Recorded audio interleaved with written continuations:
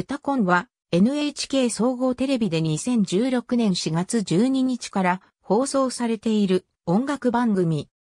1993年4月17日から2016年3月15日まで23年間、合計948回続いた NHK 歌謡コンサートの放送枠を引き継ぎ、放送時間を30分繰り上げ、さらに2007年4月7日から2016年4月3日まで9年間放送したミュージックジャパンの番組内容も、この放送枠に整理、統合して新しい音楽番組として再出発した。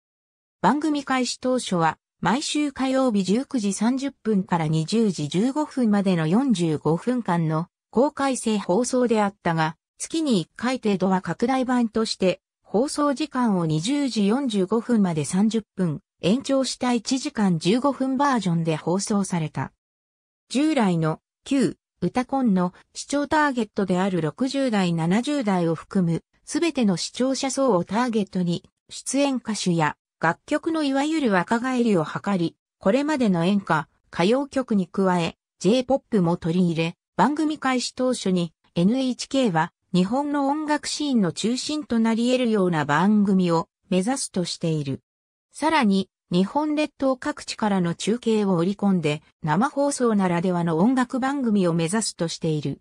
旧、歌コン同様、通常は NHK ホールを会場に観客を入れた公開制放送を行う。公開収録をする場合もある。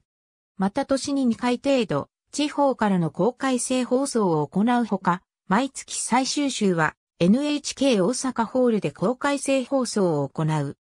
生バンドによる演奏が行われる生放送番組であるため、朝からリハーサルがあり、毎週出演者のスケジュールを丸1日を割いておかなければならない。なお、旧歌コン時代から付けられてきたキャッチコピーはあなたの歌のコンシェルジュに改められている。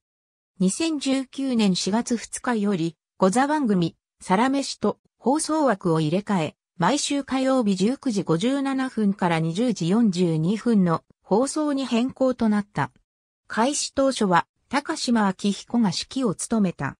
新 BS 日本の歌と掛け持ちで、高島と栗田信夫が音楽監督を務め、番組専属バンド、ミュージックコンチェルトが演奏を担当。高島の盛況に伴い、2017年からは、金子隆弘が、フラッシュ金子名義で指揮を務める。また、高島の子息である、高島寛太が、編曲担当として参加している。リハーサルは、当日に、音合わせ1回、投資リハーサル1回の計2回のみ。弦楽器と管楽器の演奏者は、当日に譜面を渡されて練習をする。ありがとうございます。